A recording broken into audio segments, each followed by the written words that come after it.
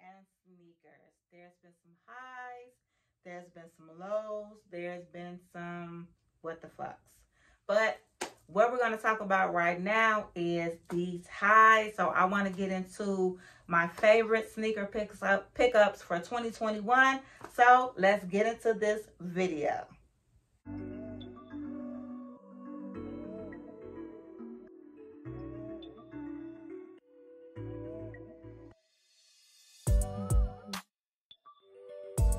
Welcome back to my channel. I am your girl Felicia here with another video. If you are new to my channel, I do sneaker reviews, I do how to styles, and I also do product reviews and hauls for beauty. So if you're into those things, go ahead and hit that subscribe button. Also, don't forget to like this video and leave me a comment. Now, like I said, we are about to get into some of my, my, me. This is my opinion, my pickups, what I liked okay? This is not no top 10, top 20, top 5, or 220, 2021.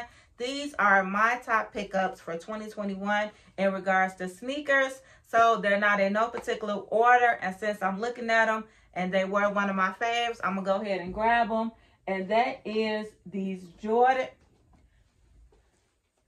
And that is these Jordan 1 lows in the reverse bred. I want to say these are probably almost one of my favorite pickups for 2021. As you can see, I have worn these suckers. Now, I did get these off StockX, but I think resale, they're like, retail, they're like $75. If you go on the finish line or something like that, you can find them. I paid a hundred bucks on StockX, but yeah, these are one of my favorites. I feel like one one, they go with everything. That's why I like them. They're easy to style. These was my first Jordan 1 lows. At first, I, was, I wasn't really feeling the Jordan 1 low. But once I got it and I wore it, I really like it. It's a clean, sleek shoe and it's easy to style, like I said. So that's another reason why I like them. And this colorway, you just can't go wrong with a red and black or a bred colorway. So that is also another reason why I like them. I don't really feel like I need to go into the specs, but this is what this shoe looks like. So yeah, this was one of my favorites that I picked up in 2021. Another one of my favorites for 2021 was the electric green Jordan 6. These were my first Jordan 6s and so I was excited about that. I love the way these look on my feet. These are super comfortable and yeah and I just like the way that this shoe is styled. I like this um, electric green pull tab. I love the tongue on here. I did take the little pull strings off and unfortunately I got one in one room and the other one around here somewhere. It's in this house. I ain't losing my side, but they in this house. I love the nubuck around here. I love everything. I love the sole and everything. And like I said, these shoes are comfortable. I did pick mine up at retail way after they were released. I believe these released in June. I got mine around October and I was able to get them at the Nike um the Nike outlet even though they was regular price. I was still happy to grab these and add these to my sneaker collection. My Jordan 3 Midnight Gray, I think that's what they was called. I know they was like the Midnight Jordan 3s or whatever. This is another one of my favorite pickups for 2021. One, the Jordan 3s just have um, a sentimental place in my heart. These were the first Jordans, not this particular one, but the Jordan 3s were the first Jordans that my dad bought me. They were like the first sneaker that he ever bought me. And that was back in like maybe 86, 87. Yeah, maybe 86 or 87. I know I was like in fourth or fifth grade when he got these for me. But yeah, we hung out that day. We got the shoes. He took me to Pizza Hut. Don't judge. And then we went to go see Who Framed Roger Rabbit. And the ones that I got then were the um, black ones with the cement or the elephant. I think it was the cement. Anyway, anyway, these, that's why I love Jordan 3s. And so when these were coming out, I was like, I got to have them.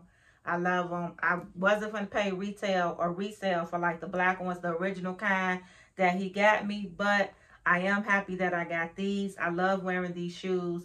Comfort, comfortable. Mm, I could have got them like a little size, a half size bigger.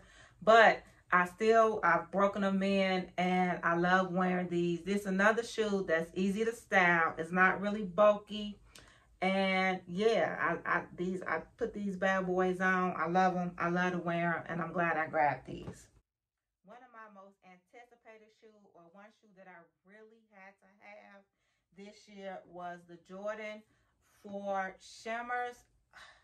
When I saw these on the pictures, I was like, "Yep, these gotta come home to mama." And so yeah, when they came out the day that they was released I was ready. I was all set. And of course, all the other retailers I lost on, but I did win these on a raffle with Sussex Shoe Store in Chicago, and they are a black-owned shoe store.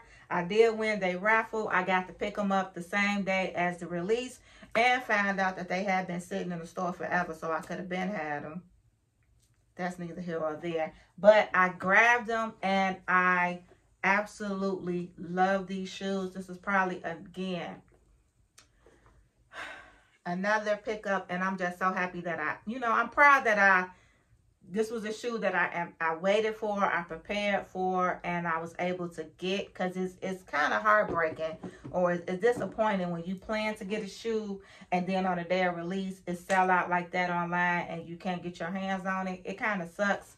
So I'm glad that I was able to get these after waiting for months. I had been eyeing these bad boys for months. So I was glad to be able to get them and have them in my collection, if you will. Um, yeah, super comfortable. As far as styling goes, you do have to know how to style them. They are a little bulky, so certain things you have to know what to wear. But I feel like this colorway and just this this whole, I love the colorway of the shoe more than anything. I think it's feminine, it's girly, it's cool, it's cute, it's giving. So I really like it. And yeah, so that was like, this was probably like my biggest uh, pickup for 2021 if you wanted, if I could be honest. And the fact that I got them on release day at re retail price is also great as well. So that's why I really like those. Next, this was another shoe that was highly anticipated. I saw that this shoe was coming out toward the end of the year. And I was like, yeah, I, I'm going to need this shoe. And that is the Jordan 1 High OG Handcraft yes, I was like, yeah, I got to add these to my collection. Even my sister, who loves sneakers as much as I do, was like, yeah, this is you. This has your name written all over it. So I had to get it. I did have to pay resale for these, but I didn't pay a crazy resale price. So I'm not mad at that, but super glad to have these in my collection. So yeah, they, I mean, just look at it. Look, it's the shoestrings for me. It's the two-tone shoestrings for me. It's the shoestrings, it's the 3M, it's the colorway, it's the materials and the textures of this shoe. It's just everything. It's just everything about this shoe. Like, I'm so glad I have it.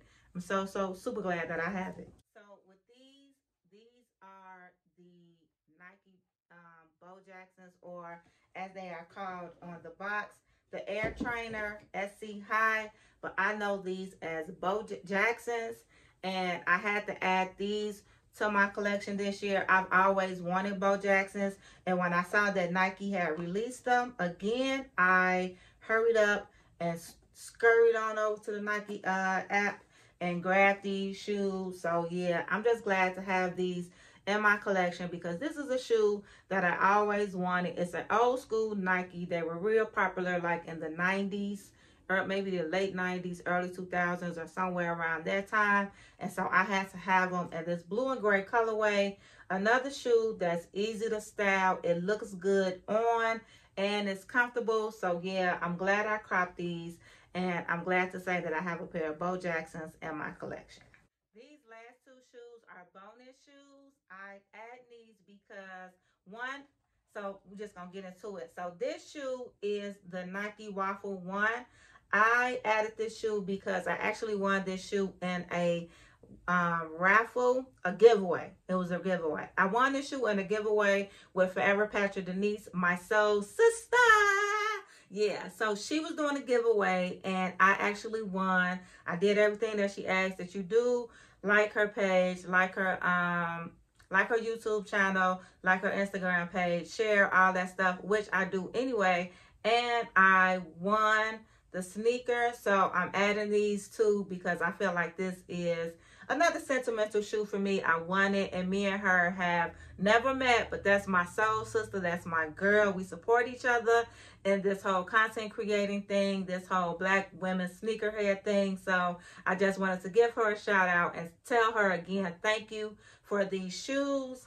And then the other shoe is my Adidas Candyverse.